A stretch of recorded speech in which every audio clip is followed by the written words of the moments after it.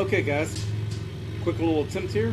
Um, I think I got my my STOL kind of sorted out. I'm a little bit better, so we're just going to do a condensed version. Um, you guys know the drill. I'm here at the airport at Jennings, Louisiana, site of the Husky National STOL event. Um, and you can see my little white line right there. I'm going to go ahead and pull on up to that. That is going to be my takeoff point, and we're going to swing back around and that is also going to be my landing point. I'm going to try to land just beyond that line. Obviously, in the real event, the line is going to be a straight line, not this diagonal line. But I'm using what I got, you know? All right, here we go. Uh, let's see, flaps down. And let's rock this.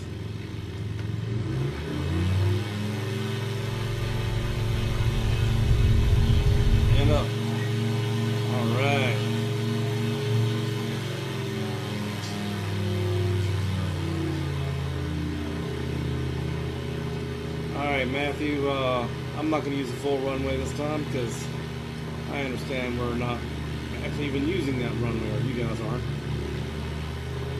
Now, a few of the things that I've learned, a few of the tri- tips and tricks that I've learned, um, is I have been trying to. Well, I can keep a little bit more speed here. I've been trying to lose my altitude first and then lose my speed.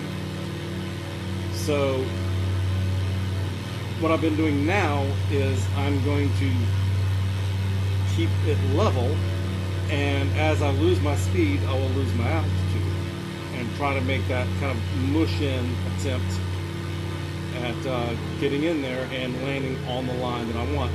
And the cool thing about that is you'll hear the stall alarm go off way before I get there.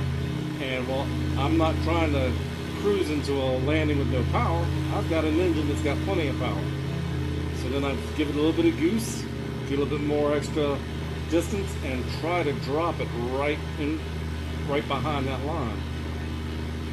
So let me see if I can just pay attention here and get this happening exactly the way I want it to go. Start speeding up some. I don't want to speed up there. Keep my airspeed down up on this and now I'm not going to necessarily try to dive out of I'm just going to lose my airspeed and mush down. And there goes my stall alarm so I can get a little bit of goose there. And I'm losing my altitude just naturally. I'm y'all I'm about to make this thing really angry. The stall alarm I'm about to make it real angry coming a little higher than I really want to. I'm still coming in pretty slow.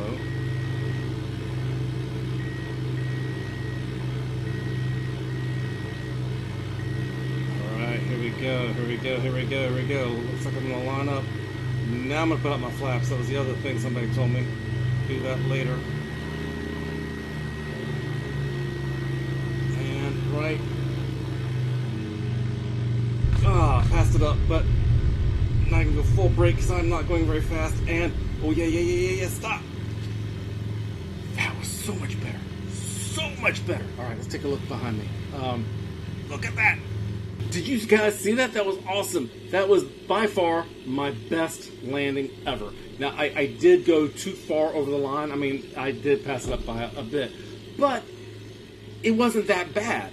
And I was I was uh, making the stall alarm scream and so once my tires hit, I didn't do a second, third, fourth, fifth landing. I, I hit, took off the flaps, hit the brake, and I came to a stop.